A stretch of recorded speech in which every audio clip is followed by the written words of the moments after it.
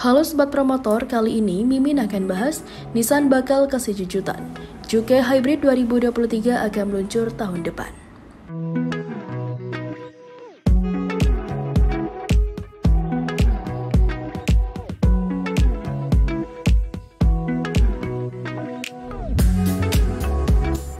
Kejutan di dunia otomotif kembali datang dari pabrikan mobil Nissan dengan mobil hybrid rilis terbaru yang katanya akan diluncurkan 2023 mendatang.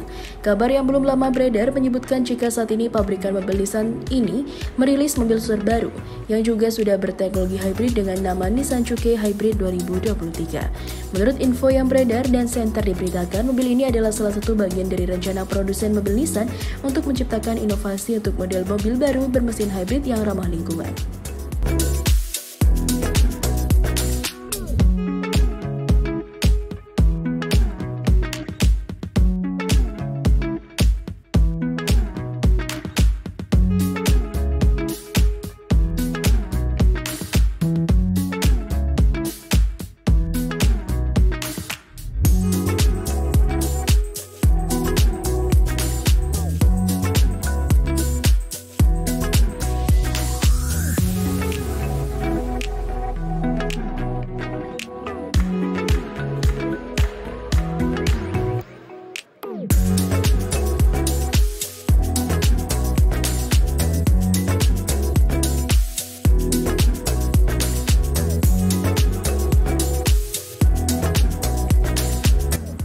Dikutip dari Sulut dari channel YouTube Autobase, penjelasan seputar eksterior mobil terbaru dan juga rilis Nissan ini dibuat lebih aerodinamis dan semakin berkesan ciamik.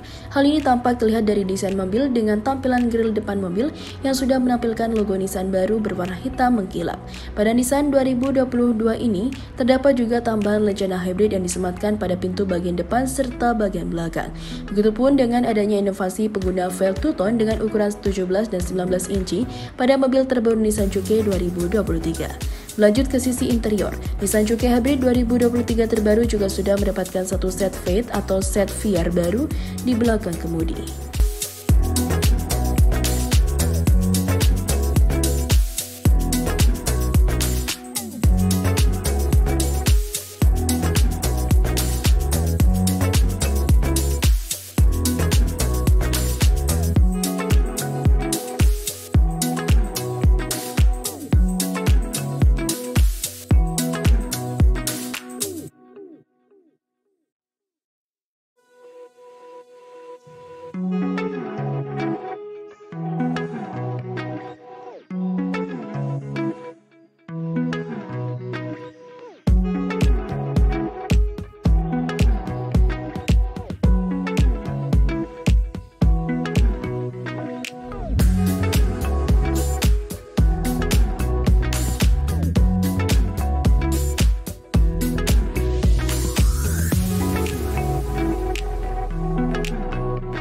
Hal ini bertujuan untuk mengkomodasikan pengukuran daya indikator untuk menunjukkan muatan regeneratif dan indikator daya baterai.